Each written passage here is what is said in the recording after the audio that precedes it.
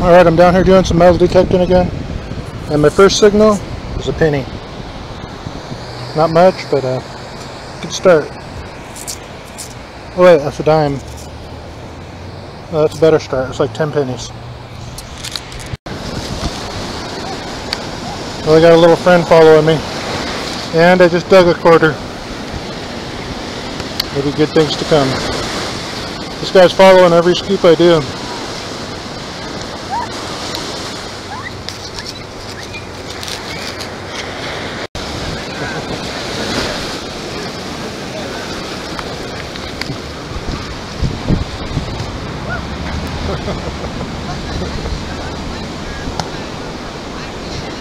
Guys are kung, fu fighting.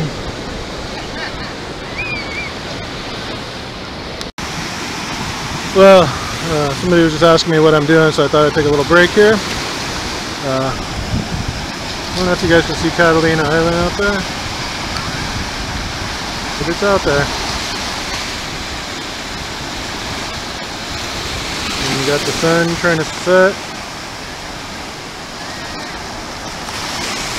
And there's still a bunch of people. I think a bunch of people come down here to watch the sunset. And then as soon as it goes down, I'm going to start doing okay. I'm able to get some signals right along the edge. And then there's a deep hole.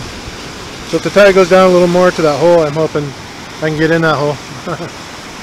but I grew up down here and it seems like that hole seems to follow the tide back for some reason.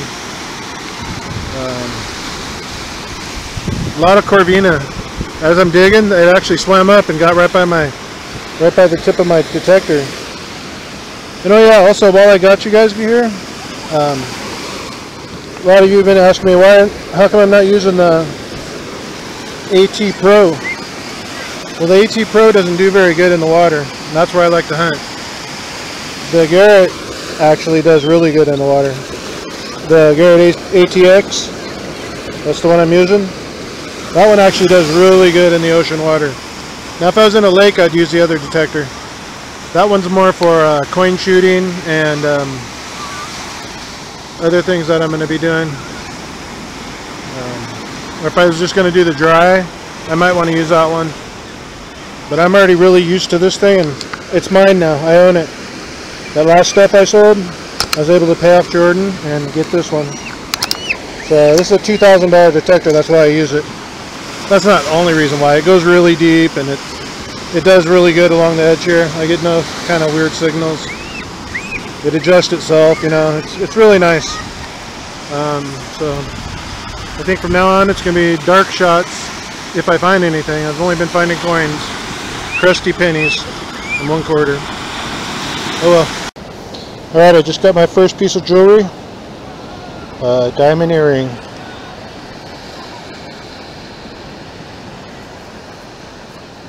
Slow night, slow night.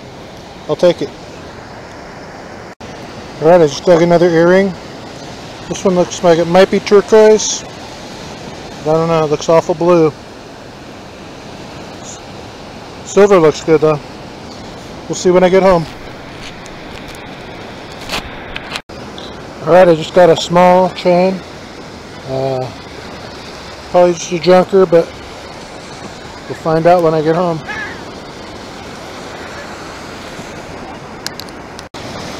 Alright, I just found a key, like an old key. I can check that when I get home for sure. What the heck is that doing on the beach? I don't know. I'll show you guys when I get home.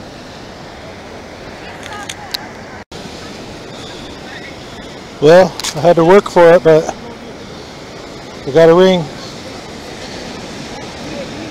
Don't know if it's real. It says something on the inside, but I don't know if it's real or not. I mean, it's a real ring. We'll see when I get home. That's what I was trying to do, I get a ring and I got one. Thin, look. Uh, not real thin, but it's thin. Alright, I'm going to get back to it. I don't know what this is, but diamonds all around it. Try to show it to you guys. I'm gonna get a better light, so future videos should be better. See diamonds on there? See it when I get home. Well, I'm not sure what this is. It's gold looking. But I'll show you guys when I get home. Well, it's got another one. Another ring. I think it's stainless. Has words on it. Real shiny, so it's probably stainless. With comfort fit. I'm gonna get back to it. I'm running out of time. Tide's coming up. Alright, I got another ring. Another ring. Sounded really weird, but uh, I'll take it. Probably fake, but I'll take it. Might be a uh, silver. Here's another one. Uh, sure rang up like silver. But we'll see when we get home. Not sure what it is. I've seen these before though.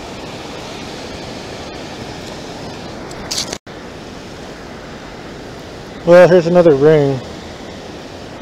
But I think it's just like a keychain ring. My light's dying too. Yeah, my light's dying. It's got a blob of stuff on it. Alright, I'm at home now.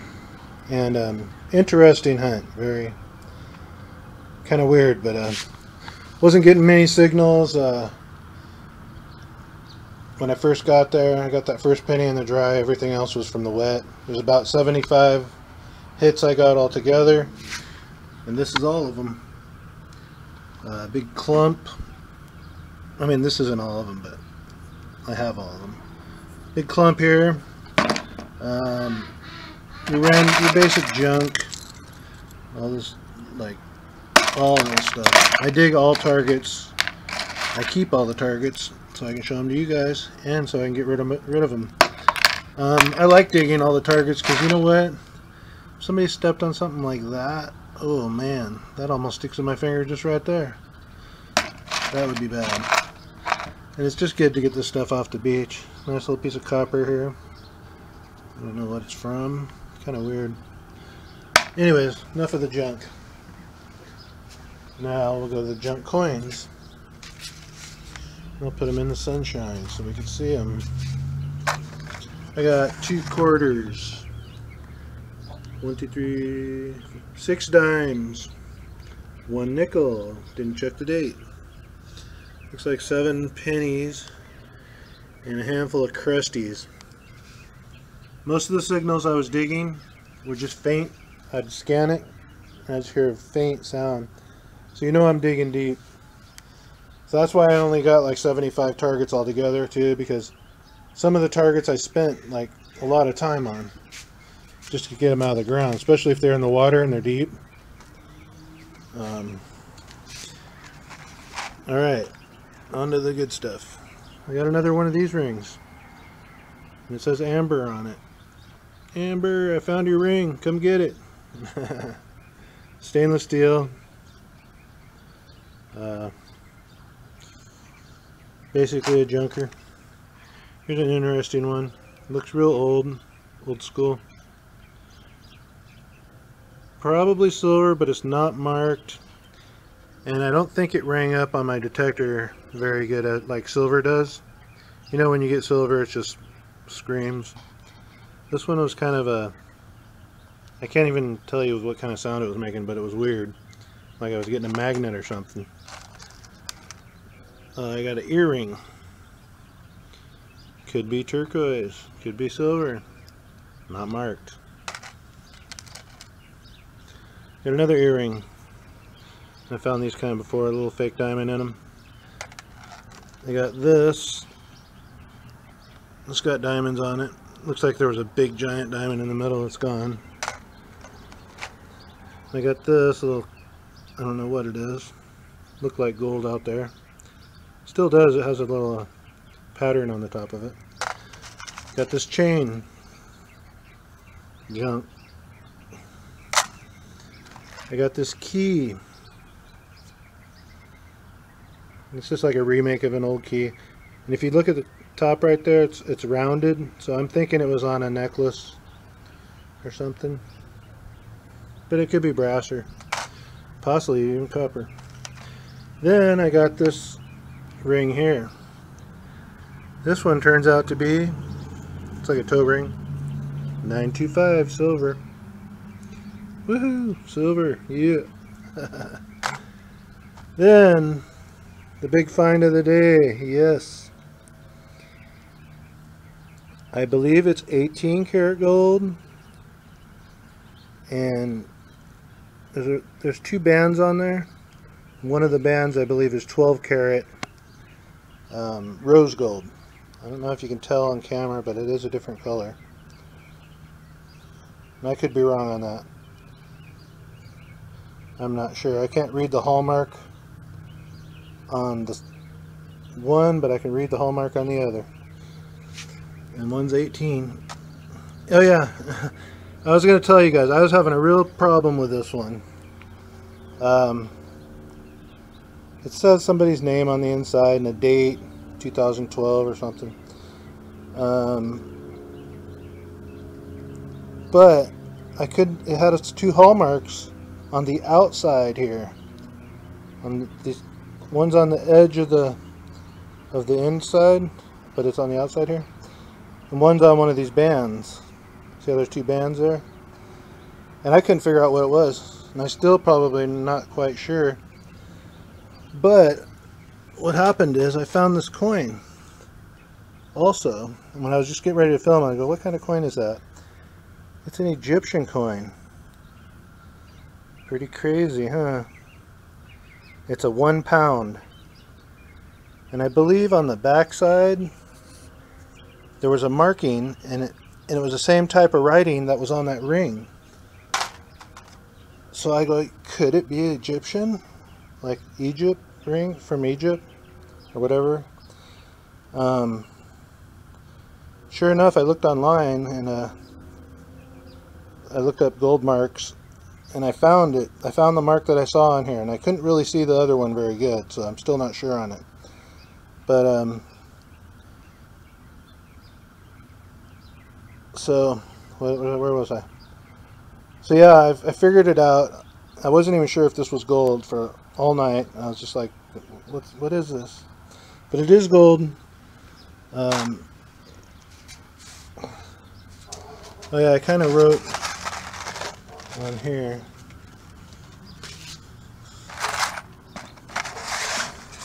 That's kind of what the mark looked like. So, but I, I'm probably wrong. I mean, on the because I couldn't really see it that good. My loupe is a very cheap loupe. It's a this one, and uh, it does 30 times. So, anyways, enough that. I am so happy I got this ring. I don't even care if it's. I mean, what where it's from. I don't care where it's from. As long as it's gold. Very happy. Woohoo! Another ring. Start my collection over again. Yeah. So anyways, uh, happy hunting for all you guys out there and girls. And uh, I hope you all can find a ring like that because that's a good one. Alright, I'm going to go now and post this video. I was to say a whole bunch of stuff. This is what happens. I turn on the camera. I say this every time too. I have all this stuff in my mind. Maybe if I sit here and think for a minute. Um, oh yeah, I was very patient on this hunt because I, I had to cover a lot of ground and I found two areas where I was getting signals. Uh, the first area, deep signals and crusty coins. So, so I pretty much cleaned that out and then as the tide got a little lower I backtracked some of my spacing on spots that I spotted that looked good. And sure enough, I hit, when I was getting all, in the video you'll see I was getting this jewelry, that jewelry, you know, the ring. So just be patient and uh, look at your surroundings. That's all I can tell you. I don't want to give up too much information. Alright, You guys take care.